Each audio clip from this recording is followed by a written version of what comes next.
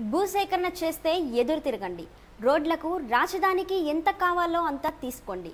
నూట ఇరవై రకాల పంటలు పండే భూములు తీసుకోవడం అన్యాయం దారుణం. రాజధానిలో పోలీసులు కేవలం డ్యూటీ చేస్తున్నారు. వారి వెనకుండి నడిపిస్తుంది టీడీపీ పార్టీ నేతలే అని ఆరోపించిన జనసేన పార్టీ అధినేత పవన్ కళ్యాణ్ ఉండవల్లి పెనుమాక రైతులతో ఆయన ముఖాముఖిలో పాల్గొన్నారు.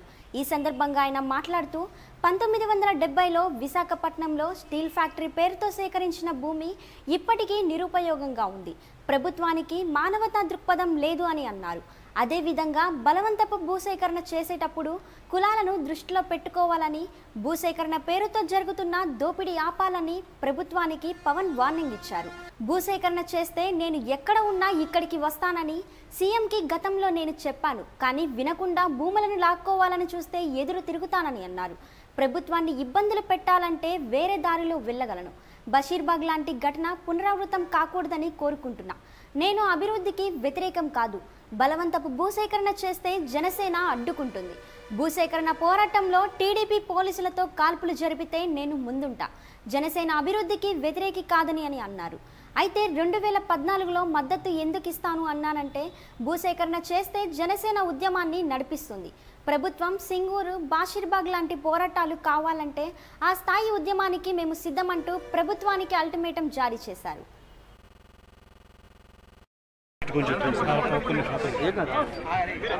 కూర్చోండి అందరూ ప్రశాంతంగా కూర్చోండి.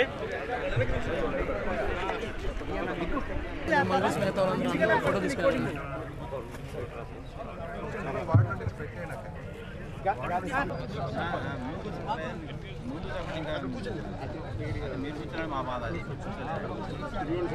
రెండు రోడ్లు ఉన్నాయండి రాజంపేటకి ఆ రోడ్లు ఆపేసి మా పొలం కావాలని ఈ పొలం తీసుకోవడానికి పొలం అడుగుతున్నారు పొలాన్ని ప్రాక్టీస్ అమ్ముకునే దానికోసం ఈ మన ఖర్చు కట్టాడండి ఖర్చు కట్టి ఈ పని చేస్తున్నాడు. ఆయాలేమో ఓటుకు వచ్చినప్పుడు ఏమో చెప్పు లేకుండా వచ్చి దండం పెట్టాడు. ఇవాళ ఆయన దగ్గరికి వెళ్ళాలంటే పని బాగా పడి పడి రావడానికి ప్రతి జనసేన మీద మేము సహకారం వచ్చింది. తెలుగుదేశం ప్రభుత్వం కూడా అర్థం చేసుకోవాల్సింది. మీరు మీకు బలవంతపు భూసేకరణ కానీ జరిపితే జనసేన పార్టీ ముందుండి. జనసేన పార్టీలో ఇద్దరెక్కడానికి కదా మేము నేను ఇరవై ఎనిమిదో తారీఖున ఇరవై ఎనిమిదో తారీఖున మేము రెండు వేల పద్నాలుగు భూసేకరణ చట్టాన్ని అమలు చేయాలి. దాని ప్రకారం మనకి గ్రామ సభ జరపాలి. వాళ్ళ ప్రెసిడెంట్ గారి చేత సభలు జరిపించేసుకొని ఇంక ఎదురు తిరగడానికి అంటాను కుదరదు అలాంటప్పుడు నేను ఒక రైతు కూలీగా రైతుగా కూడా చెప్పట్లేదు. నేను రైతు కూలీగా మాట్లాడుతున్నా. ముందు వర్షం మీతో పాటు పోలీసులు కాలిస్తే నేను ఉంటాను ముందు. మీకు నేను ముందు ఉంటాను నిజంగా చెప్తాను ఎందుకంటే పుస్తకం ఎందుకంటే భూములు వేల వేల ఎకరాల భూములు లేకుండా అభివృద్ధి జరగదు. పరిశ్రమలు రావు ఉద్యోగాలు రావు. కానీ బోర్డుని ప్రామిసులు చేస్తారు. ఎవరెవరికో విదేశాలకు కట్టబెడతారు. మన భూమిలో మనం మనకి దిక్కులో వల్ల బతకాలి. ఈ రోజున ఒక చెత్త ఒక ఒక ఎకరానికి యాభై వేలు అరవై వేలు సంపాదించే కుటుంబాలు ఎక్కడికి వెళ్ళాలి? ఏం చేయాలి వీటికి? నిజంగా అవసరం ఉంటే వీటికి ప్రభుత్వాలు చెప్పాలి. మాట్లాడాలి ప్రభుత్వం భయప్రాంతం చేస్తే మటుకు భయపడదు. దయచేసి మీరు భయపడదు. మీకు అండగా ఉంటుంది ఎందుకంటే నేను అలాగే నాకు నేను నేను కోరుకునేది కూడా ఏంటంటే వాళ్ళు తెలుగుదేశం పార్టీ నాయకులు ఏమంటారు? నువ్వు అభివృద్ధికి వ్యతిరేకం అభివృద్ధికి వ్యతిరేకనే అయితే నేను తెలుగుదేశం పక్షాలు నిలబడి రెండు వేల పద్నాలుగులో మర్చిపోకండి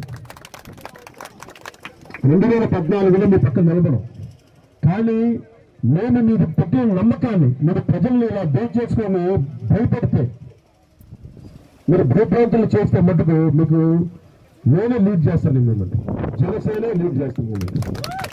ఇది ముఖ్యమంత్రి గారు కూడా మేము చెప్పేదండి ఒక సింగూర్ భూమి కేసు లాగా లేదంటే బషీర్ బాగ్ లాంటిది కావాలి అంటే అది మీకు మీరు తెలుసుకోవాలి. భూసేకరణ చట్టం మీరు భయప్రాంతం చేసి మీరు భూములు లాక్కుంటే అలా చేస్తానంటే నేను నేనే ప్రత్యేకించి నేనే ముందుని లీడ్ చేస్తాను. ఎందుకంటే ఈ భూదాహం ప్రభుత్వాలు తగ్గించుకోవాలి. కానీ దక్షిణ ప్రా- దక్షిణ తీస్తే కోరం దక్షిణ తీరం కానీ ఉత్తర తీరం కానీ ఎటు సరే లక్షల లక్షల ఎకరాలు తీసుకొని కొద్దిమంది చేతులకు సంపద వెళ్ళిపోవటం దానికి జనసేన వ్యతిరేకం.